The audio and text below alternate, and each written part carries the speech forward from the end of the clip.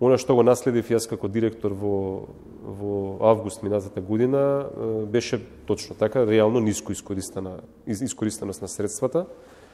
А, од анализата што ја направивме, произлезе дека оно што го споменав и предходно.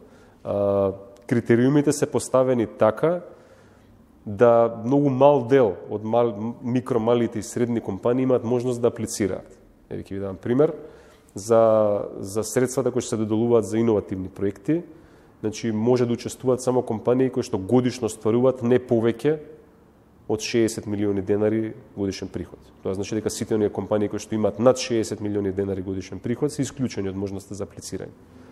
Тоа сега го променивме, како што кажа во планот за економски раст на владата, овозможено е сите компании регистрирани како микро, мали и средни да земат учество во тие средства. Најголема пречка во моментот се а, недостаток на финансии и недостаток на а, добро менторство во Македонија. Целиот приход а, што сме го имале низ годините наназад сме го реинвестирале а, и сме се движеле чекор по чекор. На почеток почнавме како класична аутсорсинг компанија, но при работата со различни стартапи од светот учевме многу и ги согледувавме проблемите кои што тие ги имаат кога работат со аутсорсинг компании.